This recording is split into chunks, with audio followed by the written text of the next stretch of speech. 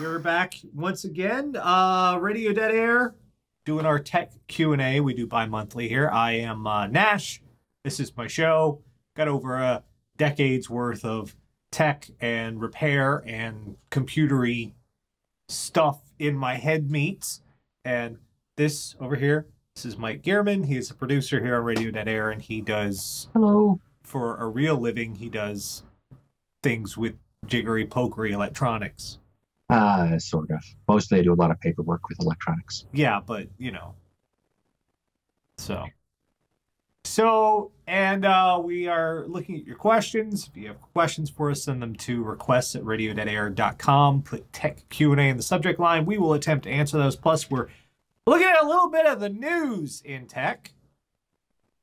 And I guess, well, the news that is in tech, which also sort of spreads out to a, to a periphery, and it's a little bit unescapable, inescapable at this point, is uh, Star Wars. Star Wars, Star Wars, Star Wars. Let me say right now, I don't get to see it till tomorrow at the earliest. So no spoilers, motherfuckers. No spoilers. Okay, so. No. Now, Nash, Um, I know where you live. and it's it's doing great. The movie's great. It's breaking box office records and everything. But this is, of course, a sequel to the original trilogy. It follows after Return of the Jedi, and lots of people have only ever seen one version of the original trilogy, and that is George Lucas's special edition. AKA the fucked up butchered edition. Oh god, the fucking special edition. Now you know what? For what for lots of reasons. If you do or don't like the changes Lucas made to it, there are actually some problems beyond that, especially with the 2011 Blu-ray release of the special editions. The coloring is off. The the the, the look of it is screwed up. The uh, th- there's actually, if you pay close attention to this, there's these weird, nasty splashes of magenta whenever a laser blast goes off, and Yeah, what was up with I never knew what was up with that. it's just lots of stuff like that. There's plus another problem is most of the CG for the special editions was done in 1997, and if there's one truism in movies, it's that nothing ages worse than CGI. It it it age practical effects will stand up like nobody's business. Actual physical props. But if we're talking CG animated creatures that are superimposed into real film, that stuff ages like crazy. So the the other the alternative, of course, is could watch the special editions, but you can't. Well, you can. Do you own a Laserdisc player by chance?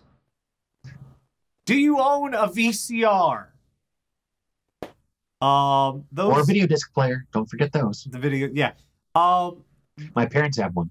there is only one DVD release, which came out in 2006, that was an anamorphic scan.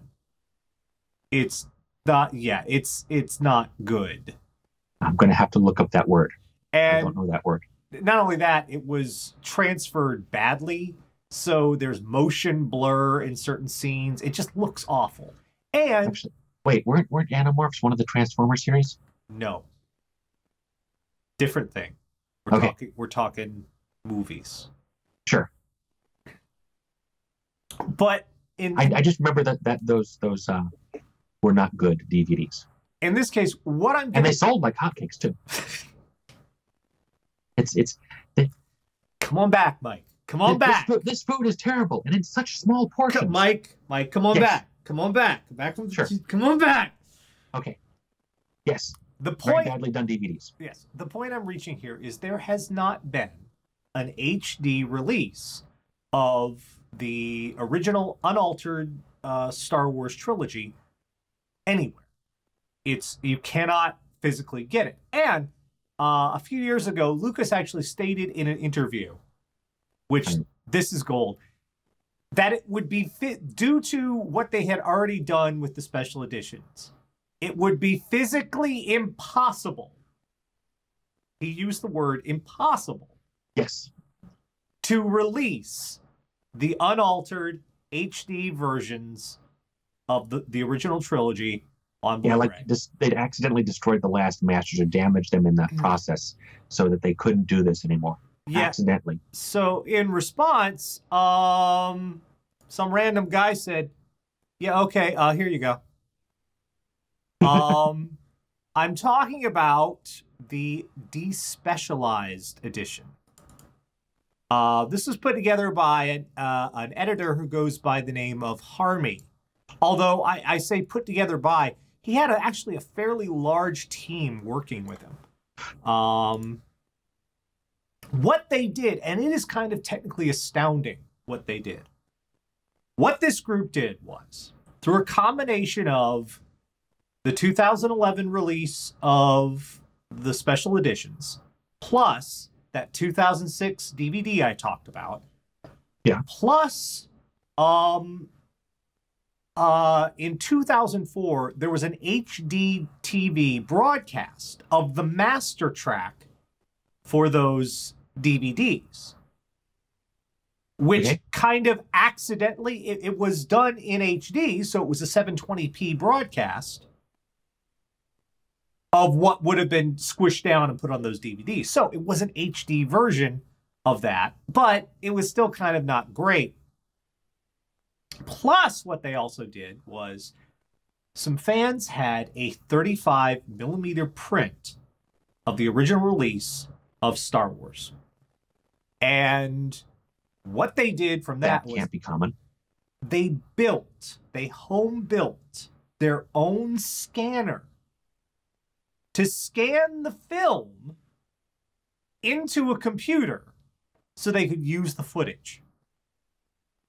Okay, so my first question here, I'm, Hmm. I'm assuming this, this produces a very good HD, eventually HD. 720p HD, yes.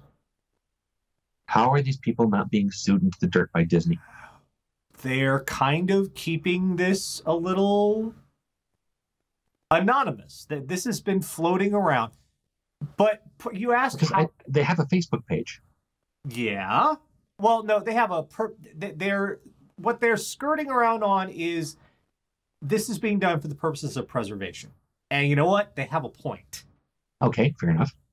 Um, this is restoration and preservation. Um, I'm going to link in into this to the video uh, when I put this up on YouTube. I'm going to link in the channel right now. Um, if you want to watch this, which is called the despecialized edition, um, there's links available at this this uh, YouTube video that goes into, and I, I, just want to show a little bit of this because it goes into the the the just the detail and what they went through to correct the color back to what it was originally to uh, deal with the um, Stupid Uh, yeah blaster flare. yeah the blaster flare uh, and also they remove it, they they have to go through and change it and it's bizarre because what they are doing is they are re- restoring a movie that someone had came in and messed with normally when you restore a film it's because it's been lost and they find a, a, a A long lost print. negative or something and then they have to clean it up this case the special edition is the damaged print. So it's kind of fascinating the links they went to to to correct it and get it back the way it was. Uh, they also use various different sound mixes, the the original Dolby sound mix, all this other stuff. It's it's it's splendidly done. I've seen it. And if you want to see it too, well, there are links about how to do it at this website. And, you know, figure that shit out on your own. They'll tell you how to get it. I'm sure you can Google it. You can, yeah. Um, but yeah, it really is fantastic. So if you are a fan of Star Wars, if you're going to go see uh, The Force Awakens, if you've already seen it, if you haven't watched Star Wars in a while, this really is a great way to see it because I will tell you, it holds up spectacularly. Although A New Hope is actually the weakest of them in terms of how well it holds up overall, but it does look fantastic. And oh, the dis- the the despecialized version of Empire Strikes Back is gorgeous, just absolutely gorgeous. It's beautiful to behold. So, and th- I, I just, I love this is a triumph of just random people on the internet all got together and said, yeah, yeah, you can see right there the motion blur on the video right there. This is just a bunch of random people on the internet who all got together and said, we gonna fix this shit. So it's it's Harmy's Star Wars Despecialized. And even just the, the link I linked to, uh, the video, it's fa- it's a fascinating little mini documentary about how they did this. Very cool. Yeah, so check that out.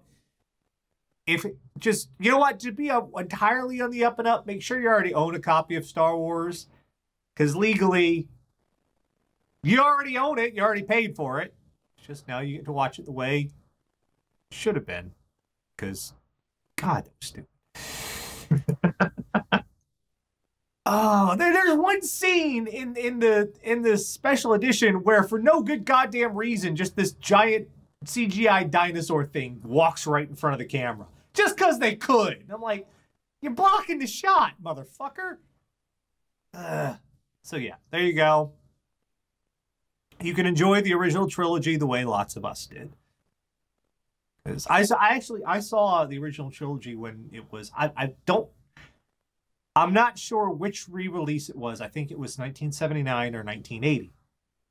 Okay. And very not long after, because I loved it. I was a little little wee tiny creature, and I saw the movie and I loved it. But I was also very very young, and I did not understand what movie trailers were.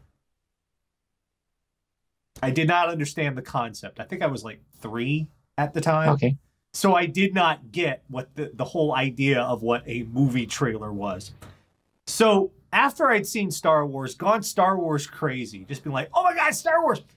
My parents took me back to the movies for a different movie at another time. And the trailer for Empire Strikes Back came on. And I was so happy. And it was two minutes long. I cried a lot.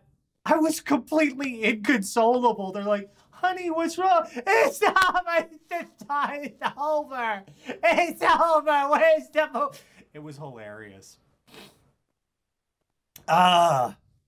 How they do it. Isaac, where's Luke Skywalker? All right, so moving on to so- a different sort of copyright shenanigans this week. Um, the UK just had a, uh, a copyright ruling that effectively should scare the crap out of every single photographer on the planet. Oh yeah, I saw this one. This this is so painful. This copyright ruling. This is EU. No, UK. Oh, UK. Sorry. Yeah. This comes from the UK. This is uh um well what it what it boils down to. You may need a license to photograph things you already own. Yeah, because it is a design made by someone else. So now, obviously, for certain things, it's not going to be an issue. If you want to take a photograph of your, your Red Bull can, that's not really a design thing, probably that they're going to come after you for. But if you had like a $2,000 chair, Mm-hmm. and people make $2,000 chairs, mm-hmm. um, that you've decided to include in a photo shoot, you've got to get permission and a license of some sort uh, to use that chair in your photo shoot. Otherwise, they could sue you for copyright infringement For taking a two-dimensional picture of a three dimensional of a object. three-dimensional object. That's infringes their copyright. Yeah. I'm not, you know, Oh God, because uh, the very idea that well, I could go out and buy this two thousand dollar designer chair, but I think I'll take a picture of it. This is an acceptable substitute for owning a two thousand. Are you high? Are you absolutely out of your fucking mind? Well, this this chair, this picture of my chair, is someone going to replace your chair with a picture of a chair? Well, it's the Tory government, so who knows why they passed this ruling. I'm like, are you you you right now? I want you to show me sitting the fuck down on a picture of a chair. Tell me how comfy that shit is. how just uh, and the nasty the, the, it gets a little bit even a little bit nastier because this is one of those rulings that some clever fucking lawyer could potentially build on. They Yeah. could they could argue, well, if the design applies in this case, this is a handmade handbag that my client created all by herself in the dark, blindfolded, while having ferrets chew on her on her the bottom of, of her lips. I don't know how, how artists work anymore. It's it's fucking weird. And because she made this handbag herself and is carrying it with her in public, if you take a picture of her carrying that handbag, you owe her money. Yeah, it's because it could be it could be complete. You could be unaware you're taking a picture of something that you'd have to license. Yes. You're, you're taking a picture of your family in front of a uh, a touristy location, and someone walks by with something in the shot. Yeah, th- this is this is going to result in a whole new kind of rent seeking. Even right now, without Now, even now I, I suspect they're only going to go after primarily professional photographers, and they're not going to go after someone who put up something on his Facebook page. There'll be some asshole who will, because there always is. Well, it's it's we it's reserving that right is already dangerous enough as it is. Because saying at any time I can go after you. I can hold this over your head at any time. It's ridiculous. And even even without anyone expanding on or building on this ru- ruling, right now I am fairly certain that there are lawyers and well no not lawyers themselves. There are unpaid interns of lawyers who are scouring the internet looking for any instance of a designed object having been photocopied or photographed. And they are just preparing to send out all sorts of cease and desists and and suits. And there there there's an industry getting revved up based around this it's a ridiculous fucking ruling Yeah. And what the, what I'm seeing is that they haven't actually decided when it's going to go into effect yet either. yeah They're, they're, they're still to make up their mind. It could be three months from now. It could be, excuse sorry, six months from now, three years from now, or five years from now. No one's decided yet. it's it's fucking crazy. So if they go five years, it, it's possible if they go five years that the next government will come in and say, yeah, we're getting rid of this. I should also point out the UK also did make an announcement recently that the whole idea of copying your own music, say you have a CD and you want to copy it to your cell phone, you want to copy your music to Now that's- illegal again. That's illegal. That is that is copyright infringement to copy a CD to your smartphone, to rip a CD and put the MP3 that's illegal. Sorry, you have to buy all the music again. Otherwise, you're breaking the law. What the fuck is going on over there right now? This is some crazy shit. This is a lot of the you- you're you're really just trying to put the genie back into the bottle. Well, they had another one too, just recently. Oh, which one? Uh, the City of London's uh, IP police, and the City of London has IP police, um, busted three people for sharing songs for karaoke that had not yet been released for karaoke. And- and- and- Hundreds of the, what they're saying is hundreds of albums had their copyright uploaded by the men, leading to thousands and thousands of tracks being accessed illegally and depriving legitimate music companies of a significant amount of money. Well, no, it hadn't been. If it wasn't available, it's not depriving them of anything Nope. until they make it available. Yep. That's how it works. If I have a song that I have not said you can use, and you use it, I'm not losing any money Because you weren't selling sold it. This this is by the way, and they're referring to this, it's three, three, three people, age 50, 53, and 60. We're not talking teenagers doing this. Uh, they've been described as a gang. It's the first gang I've heard of that might need walkers. now I'm just thinking of that old Monty Python Hell's Granny sketch. I remember that one. I, this is all of this overreach, all of this copyright maximalism is eroding the, the intended purpose of copyright in the first place. Which copyright was intended to give a limited monopoly to the creator of a work so they could monetize their creation.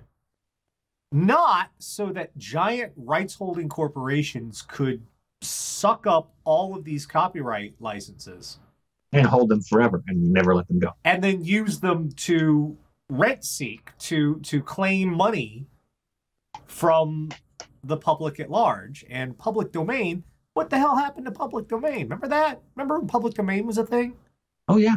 Oh, yeah. Well, occasionally a few works do slip into public domain. And they fight tooth and nail to stop it Oh, I think Happy Birthday just went into public domain. and they fought tooth and nail to stop it millions of dollars was spent on that I know, ridiculous. well finally uh, But uh, the, the good news about it going into public domain means we no longer have to listen to uh, restaurants' crappy versions of their own happy birthday songs. We don't have to, but we will anyway. Yeah, Because. anyway, so our last one, it is the holiday shopping season, and um, being that it is the 21st century, lots and lots of people are taking to placing their wish lists in the cloud. oh sure. The cloud. Amazon started doing that years ago. the cloud. And now we have retail outlets are offering their own uh, specific branded uh, apps to allow you to do this. Oh yeah, You know what they're not offering? I'm gonna go with network security to prevent, protect those lists. Yes! Wait, how did I know? And of course, yet again, if we're talking about security failures, we're talking about Target. Target's wish lip list app uh, springs a major personal data leak. Yeah, I think I saw this one. It's uh, names, phone numbers, addresses. Email addresses, home addresses, wish lists of Target customers. It's available to anyone who figures out the app's publicly available programming interface. Yeah, that's the kind of thing someone should get fired over. Oh my god. Mud, what the how did Mm. You would think that Tar remember Target not that long ago was in a whole heap of fucking trouble for that giant ass credit card leak? Yep. You Oh would yeah, you'd think after that maybe Target would start taking their network security just a wee bit more seriously. Uh-huh, no, but probably because this is my guess. This wasn't written in house by Target, same as the other thing wasn't. So they, whoever was, didn't didn't think it wasn't in the contracts. They didn't do it. I mean, the Target hack happened because they had their HVAC system on the same network as their cash registers. I'm not joking. That's how it happened. And so they weren't trying, the hackers weren't coming in through the, the cash register system because that was secure ish. They came in through HVAC because who, who wants, who, who, who's going to spend money securing HVAC? Not Target. So yeah, yeah. No, it doesn't surprise me. I mean, Amazon had theirs been relatively secure for years. Yeah, but this is this is just here. Go ahead. I say you'd think they'd learn, but uh, I'm guessing whichever Target executives got fired for the last one didn't pass on any lessons learned, like have security. But it, here's the thing. There have been effectively no real penalties to the company itself. Some hmm. fines, some bad publicity. I think they got sued by their credit card companies. Yeah. But nothing that would come in and make them go, What the fuck are you doing? You can't do it this way, you sloppy, half ass, low bidding motherfuckers. And this is pro- this is the true of all companies right now who have access to your personal data. There really is no one breathing down their necks to make sure security is on point. Yes, some of those companies do take it upon themselves to look after their security, and others, very large companies like Target, don't. They they just they they have no impetus. They have no motivation. Why? Because what's going to happen? Get a few headlines, a couple lawsuits. It- They they they'd still do that cost benefit analysis. Would the cost of paying out a settlement on this lawsuit be more than actually upgrading our computer security? If it's less than upgrading the computer security, they're just going to pay the fucking lawsuit. Would even if we were talking, would a fine be less than we'll just pay the fucking fine? So right now, Well, we, that's, what happened with um, one of the uh, what call it uh, identity theft companies. They just got hit with another hundred million dollar fine. Life LifeLock, yeah, that's the one where the the the CEO put his uh His social own social security number on the side of the man. said, "Here's steal my social security number. I bet you can't do it." Got used 13 times to steal his identity, and they got away with it 13 times. And uh, part of it's because over here, you know, the companies that would theoretically want to check on those things just don't bother. They go, "Oh yeah, that's a social security number. That's good enough." Uh, Jeremy Clarkson, you remember him? Yeah, once published because he was convinced how the systems were secure over in the UK. Once published his banking number, and it nothing got only one person stole from him, and it was a charity that gave themselves 400, uh, 400 500 pounds.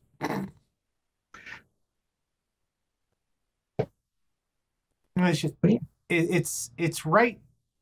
This is going to continue to be a problem. Understand, corporations who are asking for your private data, you have no guarantees that they are keeping it secure. They may be, but they also might be pulling shit like this every fucking time. You have no guarantees. So before you turn your data over, before you you they ask you, oh, we just need this this for your, and even going to the store and filling out one of those little forms to get one of those those little cards, or oh, it's a discount card.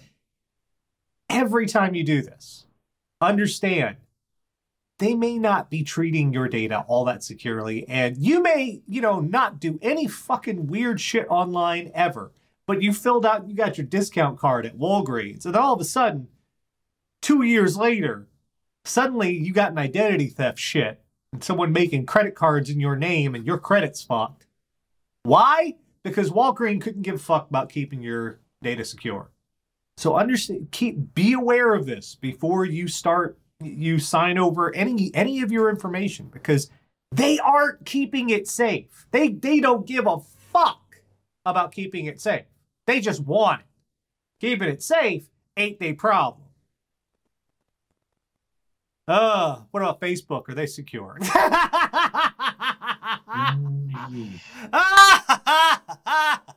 Given given that Facebook can't even manage to show you your correct friends list sometimes. oh yeah. Oh yeah. Fuck that. I, I I I give them as little as fucking possible. They still keep annoying me about, hey, you haven't filled in all your data on your and you know what? I never the fuck am. Facebook, Yeah. I never the Yeah. fuck am. You haven't put your phone number in here yet. Nope. Not Nope, gonna. not going to. Get fucked. And there was a thing recently where briefly there was some guy, I don't even remember his name, was briefly added to like 200,000 Facebook accounts. No one added him. Hmm. He just suddenly appeared. And then a few hours later was gone. Oh, all right. Well, now that we've carried out that part of our nonsense, let's go to the other part of the nonsense. We are looking at your tech questions tonight. And uh, we're going to start with uh, a uh, question from August. Uh, my name's August, big fan of your shows, and I need some help. Yes, you do, because you're a big fan of this stuff. What? What is? You know? Do you have friends? Just just just network? just get to his question. Yeah. Maybe go out and, But and Don't question people who are giving you money, Nash. get a dog. Get a dog. Um, earlier this week, I upgraded my motherboard and Intel processor on my PC. After reinstalling Windows 10, the product key I've been using now comes out invalid. That mean I have to buy a new product key there a workaround? Just want to make sure before I fork over my money to buy a new product key. Thanks in advance. August. Okay, August. Um, first of all, uh, I, I want to address this for everybody who might have to deal with this. Windows product activation is not always perfect. It can be a little sketchy and it can definitely be a little oversensitive, especially when you replace hardware in your computer. We talked about this a little bit last time. Um, Yep. Windows is supposed to keep track of a certain number of pieces that are swapped out and suddenly it considers it a new computer if you swap out too much stuff. But there's no real guideline for this that's published anywhere. It's sort of Microsoft's secret. Yeah. Now, certain things don't really count terribly strongly. Adding, expanding your memory doesn't seem to count. no. Adding a hard drive may or may not. Replacing a hard drive may or may not. Motherboard. That sounded like a crash. Um, Yay! motherboard and processor definitely count. Live, everybody. Uh, it wasn't in wasn't in my driveway. I'm not concerned. Not my problem. Going on. Moving along. Uh, motherboard and processor definitely count, and the reason they count is because motherboard and processor have IDs associated with them, and Microsoft uses those IDs along with a couple other things to determine Windows IDs and and and how much has changed. Because they don't expect you to change your motherboard and processor very often. Hard drives, yes, may come and go. Video cards, sure. Memory, absolutely. Motherboard and processor, almost never. So when that changes, you have to reactivate. Now, the number, the, the, the, key you have is actually still good. Yeah. What you've got to do is you've got to call Microsoft. Yeah, you actually have to. This you- you're not going to have to buy a new key. You're not going to have to spend any more money. All you have to do is contact Microsoft support. They have a hotline for this because it was so badly thought out to begin with. They actually had to set up a fucking help center. There's a whole wing of people who every day have to deal with this problem that Microsoft just insists on carrying over from version to version. So there's still there's still a whole bunch. So you'll have to talk to a person. You'll have to explain to them, yes, I upgraded my motherboard. Now Windows is not valid. What can I do? And And in fact, that number should be when you try to type in your your your key, it should pop up and say, "Hey, this is not a valid key. Do you want to call us, or how do you want to contact us?" yeah, And it's a one eight six six or one eight hundred number. I used to know it by heart because I was doing uh, cloned images. yeah, I made the perfect build, and I had to copy it to twenty other machines. but it was individual licenses. So I had to call them up and activate each one separately because they weren't allowed on a network. They did. They didn't give you a bulk key. We didn't buy a bulk key. And when I say we, someone other than me. How does that happen? Well, you'd still have to activate it online. Yeah, but that's supposed to be on a And if you- Uh, And if you can't if you can't plug it into a network, you can't activate it online, you still end up calling them. So I just had 20 separate keys. uh, No big deal because once I made these machines, I never saw them again. uh, So yeah, it's you're absolutely fine. You're you'll be able to call them up. You may or may not even talk to a live person. It may just be put in this information. They go, yeah, that key has only been used one other time. He's probably okay. yeah. If they go, that key's been used 943 times, you're screwed. Yeah. Why So, don't as long put as- your key anywhere online? Yeah, as long as your key was legitimate to begin with, you're probably okay. You There's- might have to talk to a real person and explain things, but that's very unlikely because Uh, real people cost money. A hilarious little side note to this. Um, there used to be uh, I forget what the name of the program was, but what the program did was it was sort of like uh, taking stock of everything that was on your computer, and it would, it would like it would keep like have this motherboard, this processor, this stuff, and also you have this software installed. And it would put the license keys for the software you have in this report that it typed up. Only it would put the report online. Oh, that's bad. And there used to be, man, back when I was in college, and just that, if you wanted an easy Windows XP license key, all y'all had to do was just Google that shit on online. Boom! it's your birthday! And they were valid keys, and it was stupid. And I, that was one of those little tricks us, us script kiddies had back in the day. All right. Don't do that, kids. It's very illegal. You shouldn't do that. Don't don't ever do that sort of thing. anyway. All right, next question comes from Diego. I've decided to upgrade my motherboard, currently using an Asus H81M Plus. I have two problems in doing so. One, I don't remember how much I paid for my current one, and two, I know jack shit about motherboards. Why I'm using a micro ATX instead of a regular ATX. So I don't have a way to know what would be a better motherboard. It's an Intel 1150. Okay. Um, now this is a little frustrating. A, th- there is a way to determine features on a motherboard between, you know, the, all right, I'll, I'll, let me break this down a little bit. You have two elements of a motherboard that are required for a given processor. The first one is the socket type. The socket is uh, that place where the processor fits into. And in this case, it's an Intel 1150. Intel has a very bad naming thing, which is what I'm building up to. It's called the Intel 1150 socket because it has 1,150 pin sockets. So that's what they decide to name it.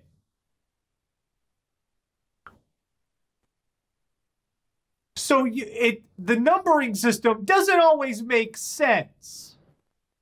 There's the that one, that seems like it makes sense. yeah, but when you move from one to the next, I, I believe the, the previous one was the 1155. Ah, so you think, oh, 1150 is worse than 1155. when it's two completely different fucking things. Um, now AMD had a wonderful way of doing this. They would just call it socket A, socket B, so, just a simple little way. But Intel with all these fucking numbers. Now the other part of the motherboard that you have to to concern with whether you know it's it's it works with your processor is the chipset. That's a little separate mini computer on the Well, motherboard. And Yeah. the form factor. But he's already said Yeah. mini ATX. So Yeah. That's a little tiny uh, separate computer that's on your motherboard. That's what they say when they call what's called a chipset. What the chipset does is it looks after your USB, um, the communication PCI. the communication between your expansion cards and the processor, uh, the memory, all of these things. It routes and connects them. The better your chipset, the more functionality it has, and the better. And the more can do. expensive the computer. Right. And the more expensive motherboard. Here's where we get into the problem. He's using an H81 chipset. It's a little old. How the nomenclature on these things is you would think droids in droids in George Lucas shit make more sense than Intel chipset nomenclature. The one he needs that would here's what I was getting to, Diego. Here's here's the relevant bit you need.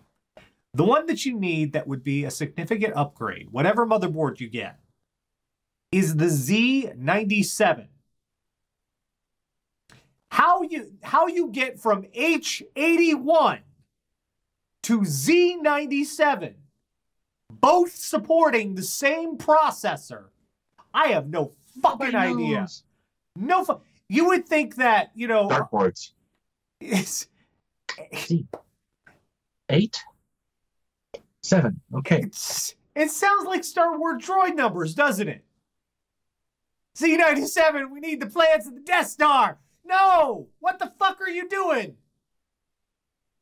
This is why normal people can't get into building the computer shit. Because if you tell them they need an 1150 motherboard and a Z97 chipset, they gonna know what the fuck y'all talking about because the fucking nomenclature doesn't make sense. It's the H81 and the Z97. Where's your car? I have an X79 in my computer. I don't even know what mine is. I have an X79. The X79 goes with the 2011 chipset or so- socket. X79 with the with with the the the why does X79 go with the 2011 but the Z97 goes with the 1150? What the fuck Intel?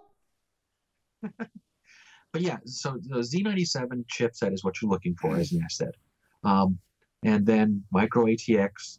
And Yeah. honestly, what I would do, you know, you say you only have one store near you that sells computer parts. That's that's fine. You know, because maybe if they don't have what you need in, they can order it. But what I would also do is go to a site like Newegg. And you're not necessarily going to be ordering from there, but they have a very powerful Yeah. tool which tells you, I want a motherboard and you go to advanced search and you say, I want this form factor, I want this chipset, I want this socket, Right. and it says, here's what you've got available. so you'll get a product number. So you can get a product number, you can get a rough price, you know, Yeah. uh, or at least a rough price comparison, because I'm, you know, not going to assume that it's going to cost you, if you did a direct translation from dollars to whatever your currency is, that it's going to be the same. There's going to be either be a massive, additional massive markup, or maybe it might be even be a little cheaper. Who knows?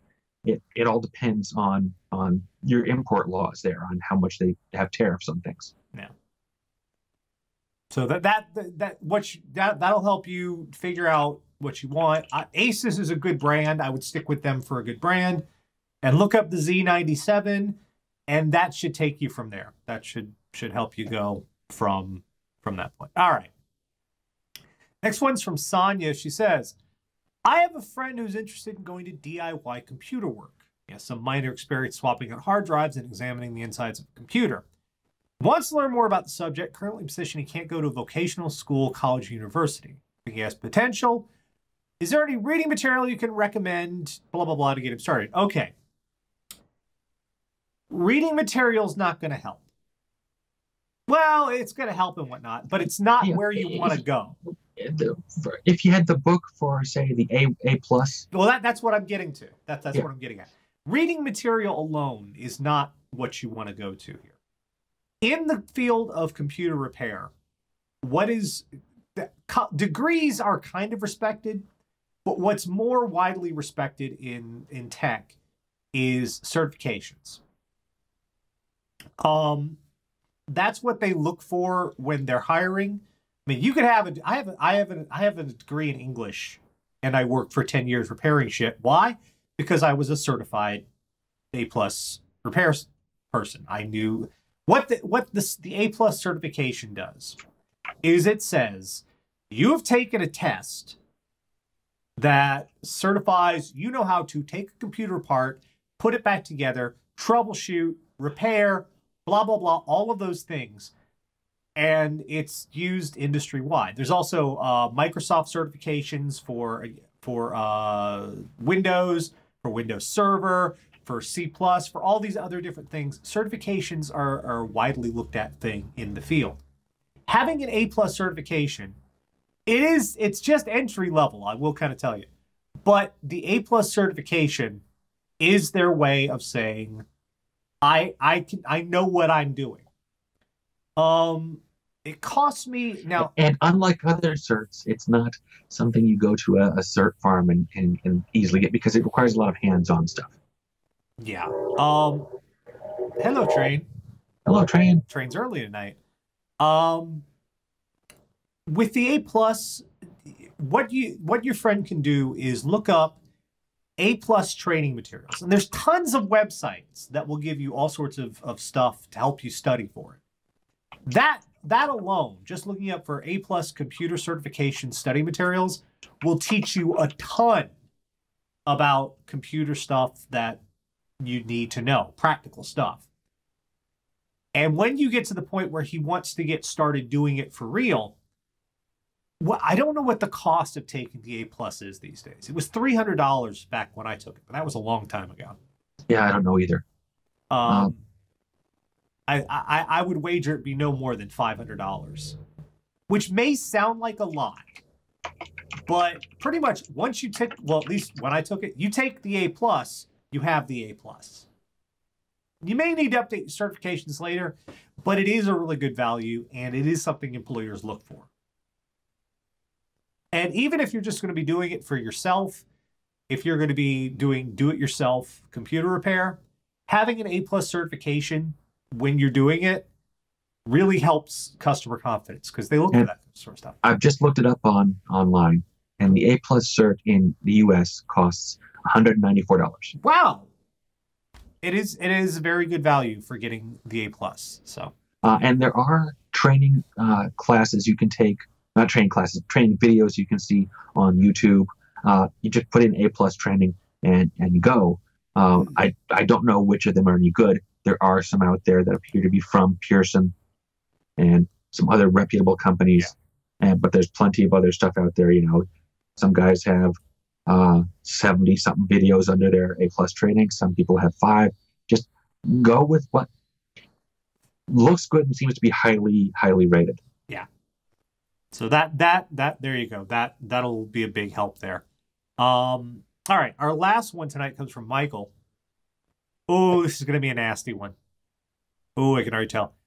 Hey Nash and Mike, recently my my desktop computer I've had for 4 years has started acting up. Near the end of the Oh, this boot is up. this is from uh, Yoshi. Oh no, Michael. Yoshi fan. Right, sorry. Um, near the end of the boot up, PC would either reboot without any error or blue screen with one of a few different errors, page area and unpaged area. The dreaded IRQ is not less than or equal to. God. Hate that fucking error message. What the fuck does that even mean? That is not English. That is not any language a human being speaks. PC load letter. You need to get C3 motherfucking C3PO in here to talk to the computer to find out what it's trying to tell you. Cause that ain't what humans speak. Um, and remember, best off the last one, I started checking on my RAM sticks. Four gigabytes DDR3. He had four of them, no more than a year old. Eventually, I found one wasn't working and removed that. PC now boots, but won't last more than 10 minutes before blue screening again in one of those errors. Any idea what's going on? A cheap, preferable way to fix it? Oh, Yoshi fan. Yeah, this is coming from Yoshi, Yoshi fan. I'm pretty sure you have another dead or dying RAM stick in there as well. Yeah, Yeah. it's it's th- this. I think um one There are of, memory tests you can run on your computer that take less than 10 minutes and can possibly tell you uh, which one it is. I'm trying to remember the name of the memory test program, or if it's one you can download. Uh, it's not coming to mind right this second. but I- I think, is one of them. Memtest. Yes. Memtest, yeah. Uh, and that one's for the Memtest is for free, but I'm re- I'm pretty sure.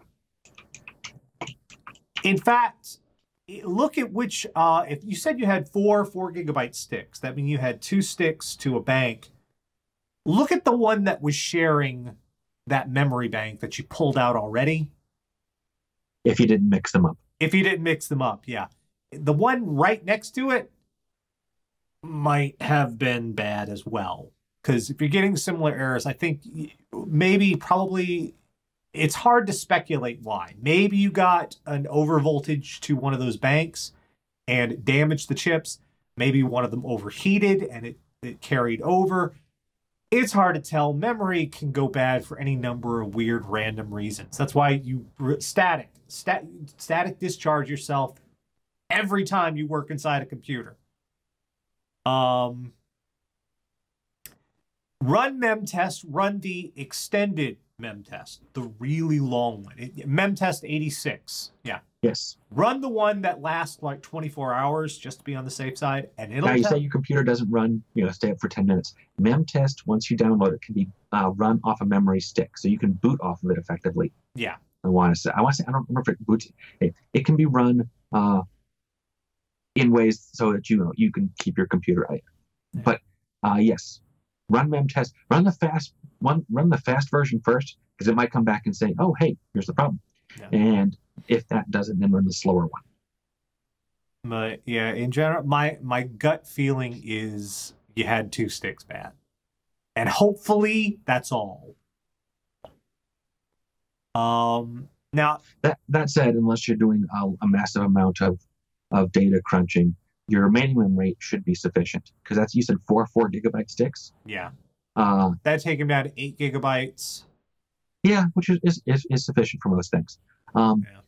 The other thing I would do, it is extremely unlikely, but it's very slim chance your memory is still under warranty, and take it back. Slim chance, almost zero, but sometimes the memory gives more than the standard 90 days that most electronics have. Some. But yeah, IRQ not less than equal. Bother. That when, when you see that, it's hard to get into without going to entire big long technical spiel. But if you ever see the IRQ not less than equal error, that normally tends to mean there is a hardware problem, something physically broken. Not always, but it's a good indicator. And that's why we hate to see it because it means something is broken, but trying to figure out what, there's the fun. There's the entertaining next three days you're gonna have. Yanking stuff out and putting stuff back in and trying to figure out what the fuck is fucked up. Oh, I hate that fucking error code. So Yoshi, yeah, I'm sorry. Bad news on that count. I wish I could have better news for you there, but my gut instinct, given what I've seen before, says you've got another bad stick. I'm sorry. And the last one, this is a quick one. Uh, Michael says, I'm finding myself with quite a few HDMI output devices, only have two HDMI ins on my TV, maybe in need of some sort of splitter, but I'm on a tight budget. Any opinions on an affordable solution? Amazon. Yeah, no, literally any almost anything you find on Amazon. I would read the reviews. Yep. For the specific uh, reason, what you're looking for, which may or may not be mentioned in the device itself, will be mentioned in the reviews. Uh, a lot of devices, when they're playing back to a TV uh, over HDMI, will go, "Hey, is there something here that I can talk to so that I can, you know, like a VCR, not VCR, DVD player, Blu-ray player will say, "Am I talking to a TV, something that's authorized to be receiving this?" Yeah. And you want to make sure your splitter, whatever you're using, is capable of passing along that check. Some of them don't. Most do, Yeah. Just, because if it doesn't, you're either going to get a downgraded image or nothing. yeah. It's, what is that called? The H something, HCSM, something. It's, that's the copy It was- protection It was, thing. it was put in by the same people who tried to make VCR tapes uh, uh, copy protected. um, Didn't work and just became a huge headache for the rest of us. yes. Uh, But yeah. you want something that's pass that along. Otherwise, like say, you get you get bad signal, no signal. Um, but you know, realistically, anything, and almost anything will do it.